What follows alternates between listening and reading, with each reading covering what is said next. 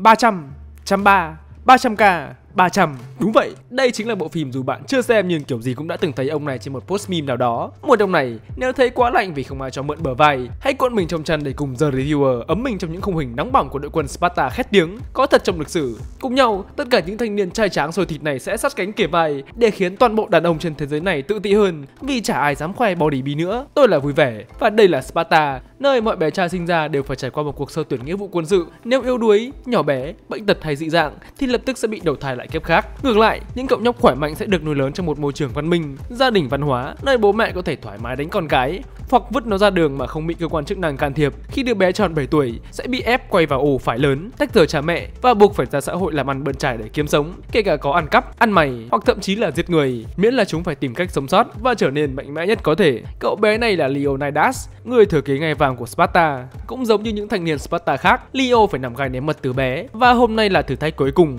Cậu buộc phải giết con sói khổng lồ để chứng minh bản thân xứng đáng với dòng máu Sparta đang chảy trong huyết quản. Đối mặt với con sói, khuôn mặt Leo lạnh như Diana Sensi Kunfresh, nhẹ nhàng dụ nó vào khe đá hẹp. Sọc, một xiên giữa họng còn quái thú, tiễn em về quán thịt chó riêng mẻ. Cậu bé lấy bộ lông, khoác lên người một cách oai vệ và trở về Sparta trong sự thán phục của tất cả mọi người. Trở lại hiện tại, chàng trai ngày nào đã là vua của Sparta, vợ con đề huề, gia đình hạnh phúc, thiếu mỗi đất nước Thái Bình thôi là đời vua này coi như mãn nguyện. Lúc này tại phương Bắc, đội quân khổng lồ của đế chế bánh đậu xanh aka 34 dưới sự chỉ huy của ông chủ tiệm vàng Cersei đang trên đường hành quân thôn tính Hy Lạp như một phép lịch sự của kẻ đi săn. Trước khi xâm lược, chúng gửi sứ giả tới để thông báo tối hậu thư cho Leonidas, khuyên ông quy thuận. Leonidas không nói gì, trầm ngâm suy nghĩ một hồi, rồi rút kiếm ra đe dọa sứ giả của Ba Từ, Quý thuận ư? Có mà quỷ cái đầu hẹp. Nói xong ông quay ra nhìn vợ, như một sự xin phép nóc nhà để đánh người. Giết y, Sparta. Bụp, một cái đạp giữa bụng thần sứ giả, mở bát cho một cuộc tàn sát, mà nạn nhân là toàn bộ phái đoàn ngoại giao của Ba Tư. Đây được coi như một pha gạ kèo thắng mặt Cersei, rằng người Sparta sẽ không bao giờ chịu khuất phục dù cho đối phương có mạnh đến đâu. Tuy nhiên, theo tục lệ Sparta, trước khi dẫn quân ra trận, nhà vua buộc phải tới một đỉnh núi thiêng, nơi cư ngụ của những thầy tế, hay chuẩn hơn là những kẻ dị hợm, sản phẩm của những cuộc hôn nhân cận huyết, xấu xí, bệnh hoạn, đạo đức thì suy đồi biến thái. Thế nhưng,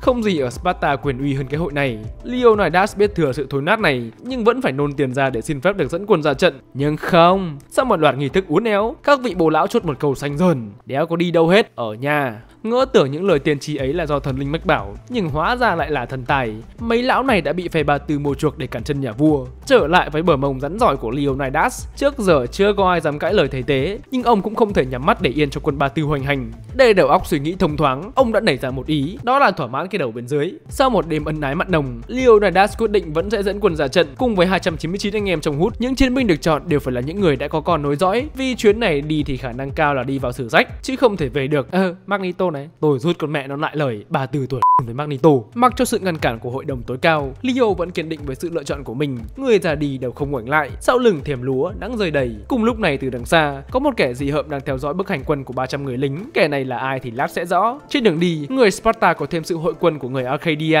Cơ mà đội này làm nên là chính, không cần quan tâm lắm. Tiếp tục hành quân, leo bắt gặp một thành phố mang tên vnpt vì toàn bộ người dân ở nơi đây đều đã mất mạng, bị găm xác lên một cái cây cổ thụ gần đó. Nhìn cũng sợ đấy, nhưng mà Leo leonidas thì không. Ông tiếp tục dẫn quân tới cửa lò, một nơi có lợi thế chiến lược cho quân sparta. Nếu dụ được một triệu quân ba tư vào cửa ngõ nhỏ hẹp này, thì quân số không còn là vấn đề. Vấn đề là có đủ sức đánh không thôi. Bước đầu của chiến dịch, magneto được cắt cử cùng một tiểu đội, chuyên bắt lẻ những kẻ do thám, đem xác chúng về đắp thành một bức tường lớn cạnh bờ biển, buộc quân ba tư phải đi vào cửa lò, nơi đội quân của leonidas đã đợi sẵn. Đột nhiên, có một kẻ dị hợm, tự xưng là ephiati một người sparta chính gốc, cầm khiên và rào tới để xin một slot trong hàng ngũ. Ephiati nói về một huyệt đạo bí mật nằm ở phía sau lưng của cửa lò. Nếu quân ba tư biết con đường này, thì quân đội sparta sẽ rơi vào thế bánh mì kẹp thịt. Ephiati hứa sẽ giữ kín bí mật này, miễn là được tham gia vào đội quân của leonidas. Thấy thằng gù có sĩ khí, leo cộng một respect cho anh. Nhưng để nhận vào đội quân thì không, chú đi gõ chuông nhà thờ đức bà thì hợp lý hơn đấy. Ephiati vẫn uất, bắt đầu nghiến răng và toàn tính một âm mưu nham hiểm. Trở lại với cuộc chiến, quân đội của bà từ đúng như kế hoạch ỷ đồng hiếp yếu, lao thẳng vào cửa lò với sự tự tin cao độ. Nhưng như đã nói, quân số ở đây không phải vấn đề. Khi 300 người lính Sparta đã che kín lối vào bằng một đội hình kiên cố, thủ cùng thủ, công cùng công, lợi dụng địa thế, cả đội thậm chí chí còn đẩy được cả một đạo quân xuống vực. Quân địch trả đũa bằng một cơn mưa tên, kín cả bầu trời, nhưng cả đội vẫn kịp trú mưa cùng HKT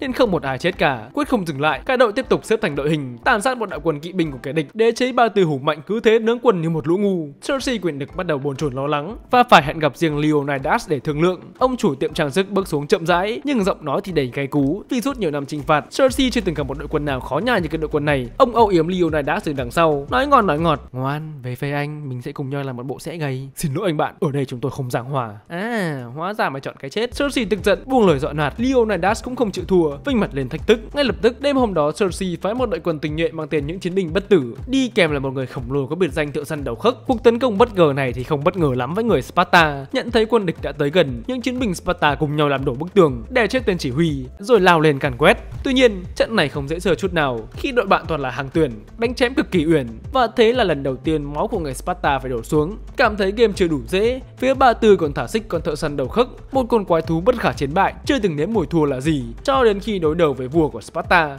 Leonidas khống chế con quái vật bằng một cú chọt thẳng vào hốc mắt, rồi nhanh tay rút kiếm chém đứt cổ đối phương, đồng thời kêu gọi viện trợ khẩn cấp. Lập tức từ cánh trái, đội quân hùng dũng của Arcadia lao ra, yểm trợ cho Sparta, đánh cho những chiến binh bất tử phải đổi tên thành đột tử. Một luồng cảm xúc sợ hãi cứ thế chạy dọc sống lưng của Cersei, khiến hắn dần mất sự bình tĩnh và quyết định dùng hết những gì mình có để ăn mắng được Sparta thì thôi. Nào là Tage đến từ lớp 13, chuyên gia bom mìn chất nổ và thậm chí là cả Dev Nguyễn. Tuy vậy, cả đội vẫn chiến đấu kiên cường, chặn đứng mọi đợt tấn công của Bá Tư. Cersei tưởng như triều đại của mình sắp chấm dứt, nhưng không, đường ông đi lại có quý nhân phù trợ, không ai khác chính là Ephiati. Thanh niên này vừa thấy gái là bù tung tăng nên đã nhanh chóng vọt ra hết điểm yếu của đội quân Sparta, nắm trong tay thông tin huyền đạo bí mật. Quân Ba Tư mất chưa tới một đêm để thiết lập thế bánh mì kẹp thịt. Leonidas biết tin, không hề tỏ ra nào núng, thậm chí còn máu chiến hơn. Quân Arcadia thì do quá sợ hãi nên xin phép rút đuổi trước. Leonidas cũng không quan tâm lắm vì bên cạnh ông vẫn còn gần 300 người trung thành và dũng cảm, sẵn sàng vào sinh ra tử cùng đức vua. Duy nhất có một người không được Leo cho phép tham chiến